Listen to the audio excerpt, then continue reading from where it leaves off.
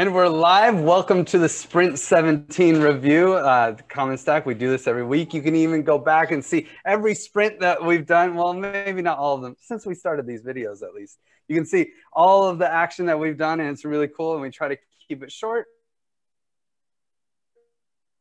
Uh, and in fact, I'm going to keep it really short and kick us off just with our budget uh, that we do about most months that we'll actually show off uh, kind of a financial transparency report if I can share my screen.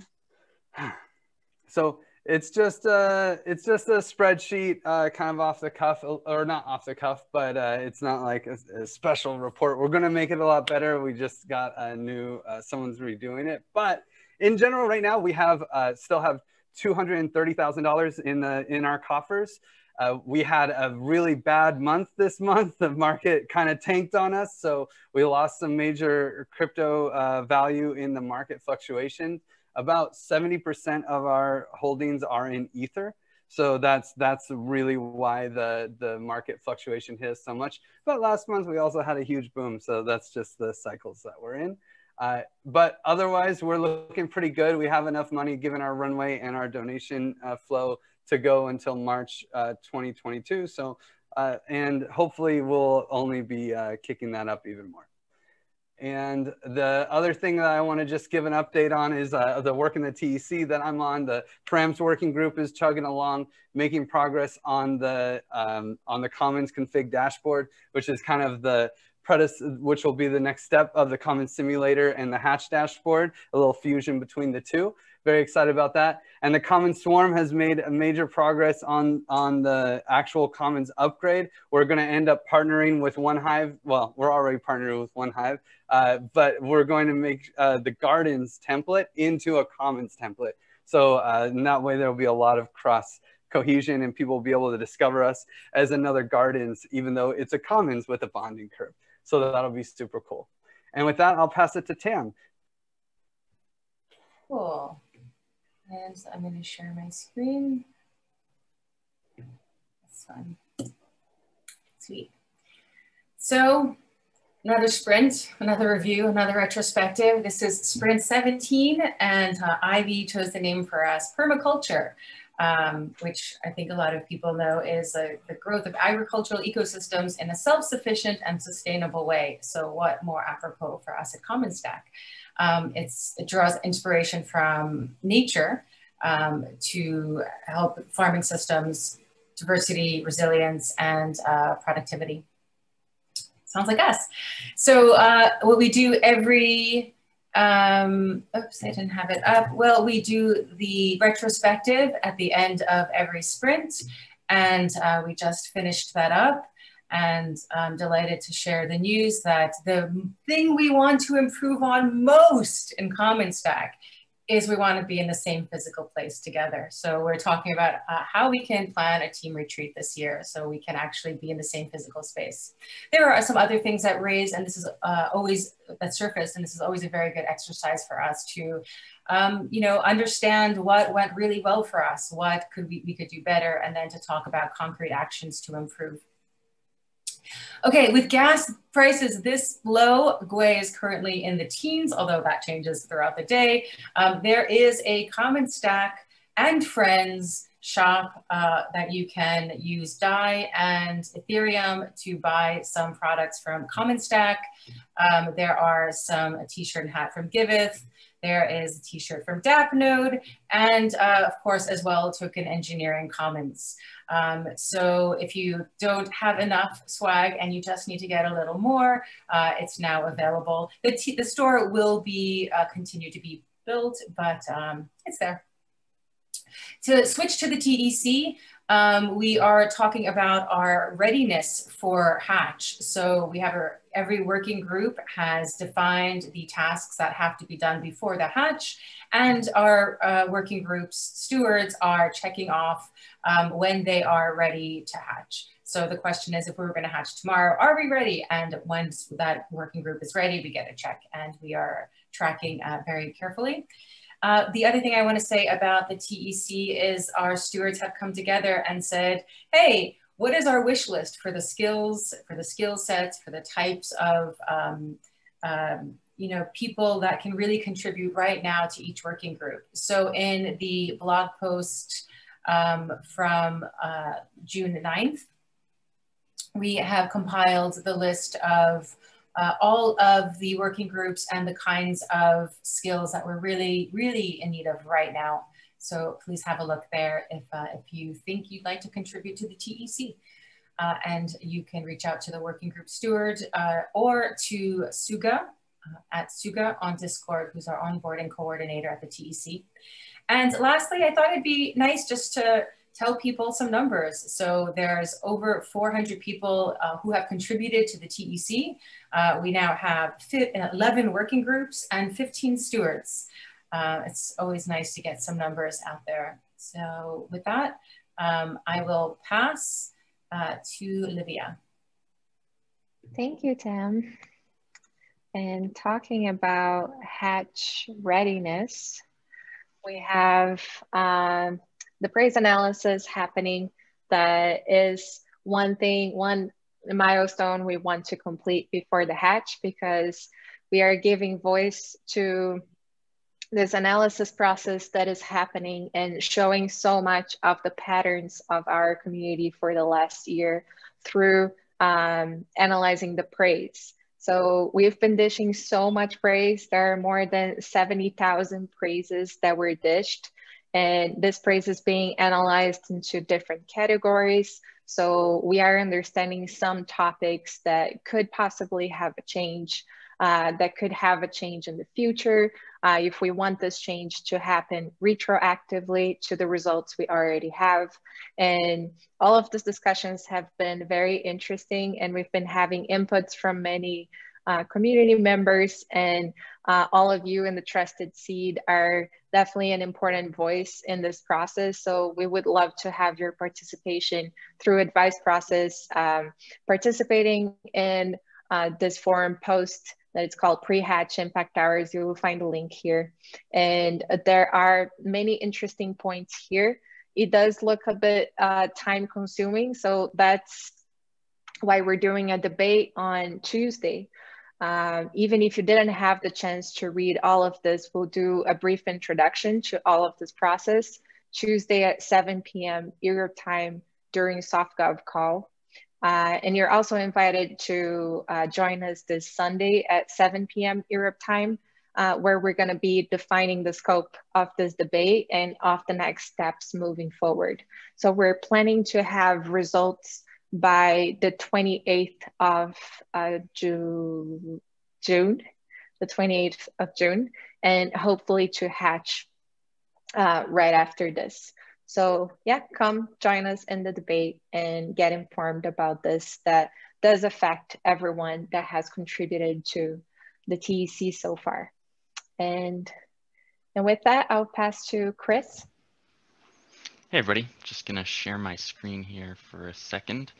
Um, so yeah, um, first things I will talk about, hopefully you guys can't hear the uh, fire alarms going on in my building. They're doing some testing today. So uh, hopefully that doesn't interrupt us. But this week, this sprint, I spent some time uh, with some of our contributors and our new team members to bring them up to speed and really happy to see uh, the engagement there. And I hope that uh, our you as our community, uh, get in touch with our new members uh, and introduce yourself. Let them know what you are interested in um, and say hi. The other major thing that we've been focusing on uh, this sprint uh, from a communication side is uh, Gitcoin planning. So it was the highest priority. Round 10 is now active, so make sure uh, to check out all the amazing uh, grants available, both within the Common Stack ecosystem and outside it. Gitcoin Grants is uh, like ama an amazing ecosystem supporter. So make sure you check it out.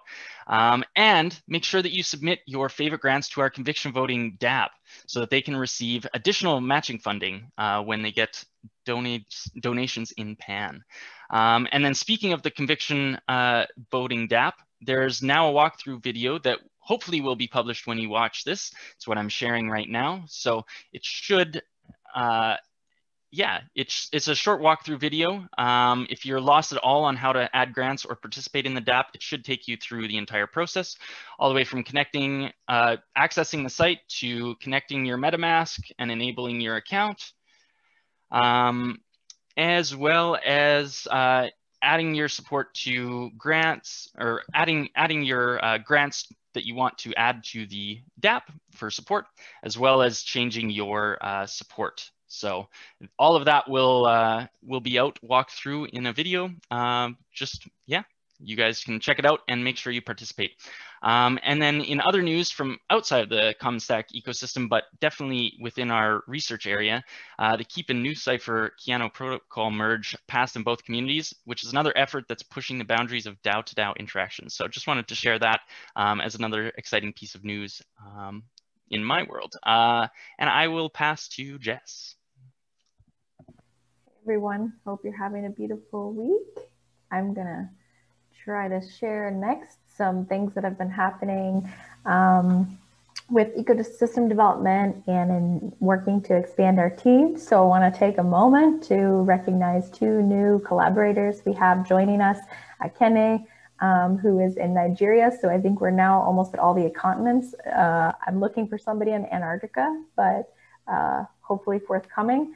And then we also have Peter, whose uh, handle is Heater.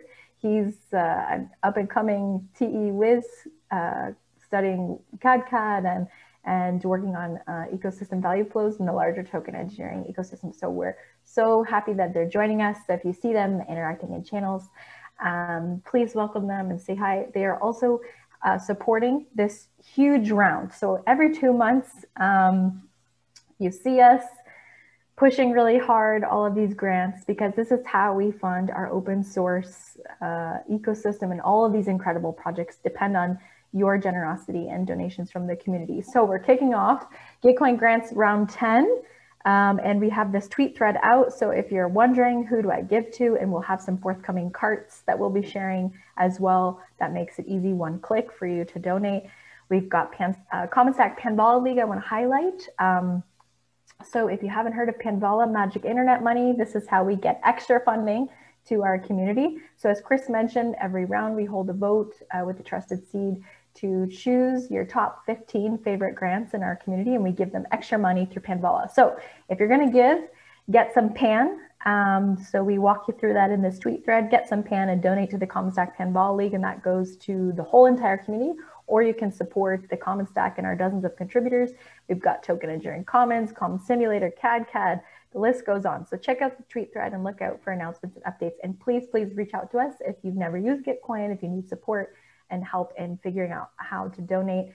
A little donation goes a long way because of quadratic matching. So uh, with Panvala as well, we can get like 20x matching. So if you give a dollar, um, it's worth even a lot more. Um, so small donations ring large.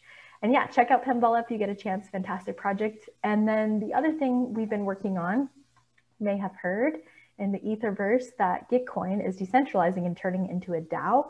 Um, we are doing loads of governance research and supporting um, the decentralizations, particularly around anti-Sybil and, and anti-fraud um, to protect the ecosystem from that. So there's a lot of interesting research coming out of this initiative. Um, oops, and I'll stop sharing for one second. So uh, that being said, Jeff, Jeff's going to talk a little bit more about this as well and some of the governance research. There's going to be an upcoming uh, research group because there's been so much demand and discussion. And uh, we shared with you last week our two workshops on governance that um, have really gotten a lot of people talking and, and looking at how can we um, take this work into action and some of this research, make it actionable. So we're working with TE Academy, um, TEC, MetaGov, Near Protocol, and several other groups to create a research group in the upcoming months. So with that, I'll pass to Jeff to cover a little bit more of that and some interesting things that he's been working on as well in the academic realm. Absolutely. Thanks for that. Um, so yeah, a lot of our governance research and, and frameworks are definitely in high demand. Uh, we've seen uh, between you know MetaGov, uh, Near Foundation, Regen Network, seeds uh, and the HIFA Strategic Sensing Circle. Um, a lot of these groups are, are really impressed at the uh, not just the tools that we've suggested, but also the ability to compose and uh, and layer these tools into larger assemblages of mechanisms that can bring about the collective intelligence that we're looking for in the DAO space.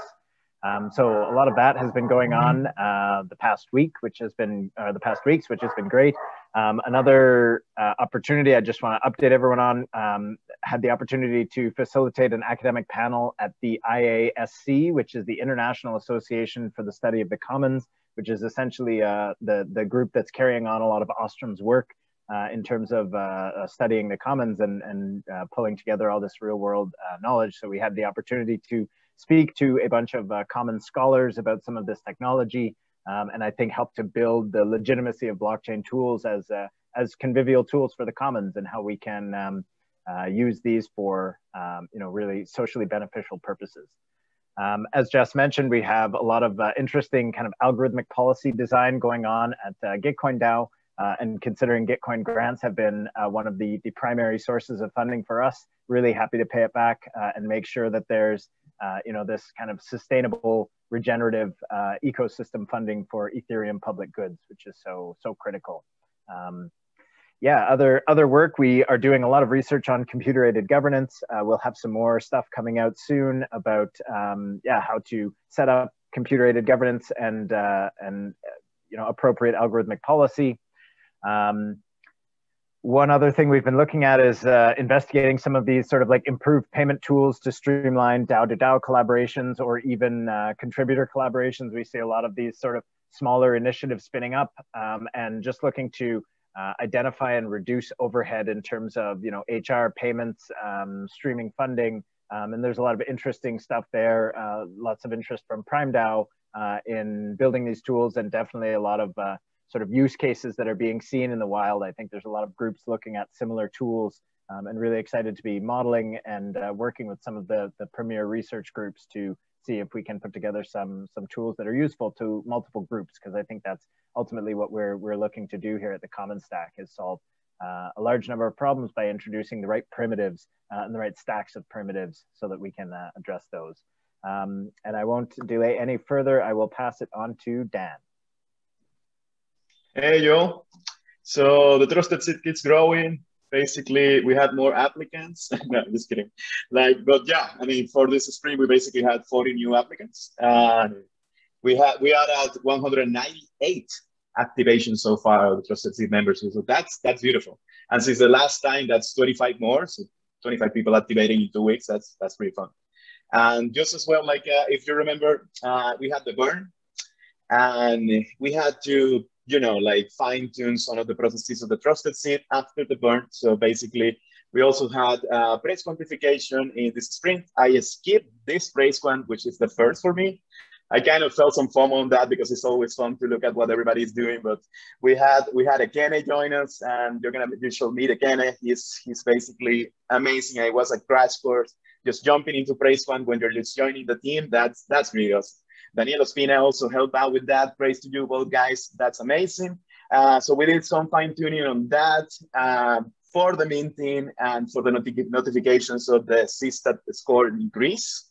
So now we have two different uh, in increased notifications, basically for the people that are being minted CSTK uh, because of the, of the score increase and the people that had some pending scores increase. So basically, every month uh, we'll be adding the increasement of the pending score as well to the contract. So when you activate, you'll have your whole system at once. And that's, you know, some people activate at the just as we are rotating, so they may not get it, but we're working on that. And this is this is a lot of amazing work to from the development team. And also just as well, let me let me share with you guys a little bit of this. And also where is my Brave browser? Okay. So we have something else coming that we are hiring a junior gardener. So Heather help out with this, praise you Heather. This is this is way more detailed than my job description. So this is amazing. This is just great. And it will it will allow for somebody else to help out on some of the process and just as well like uh, allow for more time to co-design engagement activities for the trusted seeds. So we can all jump in to make something awesome happen. And just as well, we are working on the trusted seed dashboard, which basically you had the DApp, okay? The DApp is great.